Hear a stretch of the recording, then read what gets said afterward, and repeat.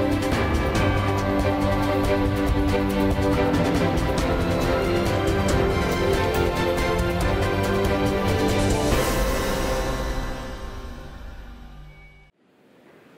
U župi Svetoga Blaža u Zagrebačkoj Deželićevoj ulici svečano je proslavljen Dan zaštitnika crkve. Svečano misno slavlje predslavio je pomoćni biskup Zagrebački monsignor Ivan Šaško.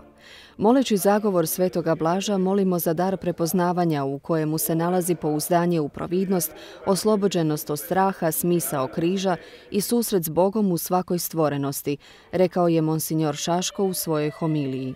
Te darove nam svjedoči život toga našega zaštitnika, pastira, mučenika.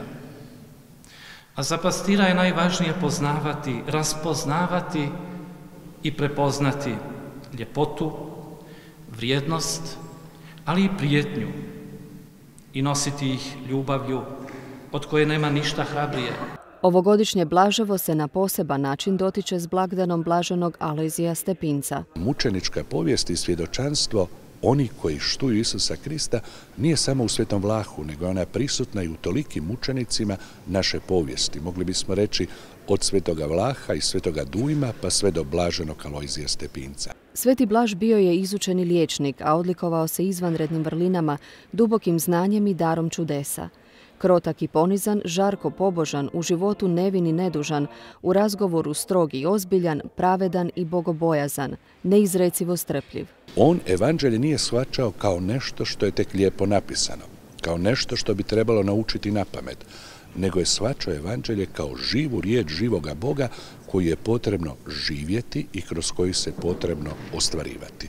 To je njegova veličina. Jednom zgodom Svetom Blažu je stigla žalosna majka noseći u naručju svoga sina kojemu je zapala riblja kost u grlu. Svetac je položio ruke na dijete, pozvao svemogućeg Boga i stao ga moliti da ozdravi dijete. Čim je Sveti Blaž završio svoju molitvu, dijete je ozdravilo. Tada je Sveti Blaž zamolio Boga da to učini svaki put onome tko se u bolesti grla obrati molitvama u njegovo ime. Ono što su meni kao djetetu pričali, a to vjerojatno svi znamo, da se po zagovoru Svetog Blaža taj jedan dječak kojemu je zapela, čini mi se, kost, riblja kost u grlu, pa mu je život bio ugrožen, pa je po zagovoru Svetog Blaža e, njegov život bio spašen. To je ono što me prati cijeli život. Ovaj svetac sigurno je u Hrvatskoj jedan od najvećih svetaca kojega mi slavimo. A dolazimo i zbog njegovih uloga koje imao prema djetetu spašavajući jedno dijete, a i zbog njegovog cjelokupnog života. I nas to uvijek je interesiralo i volimo doći u crkvu, posebice na Grličenju.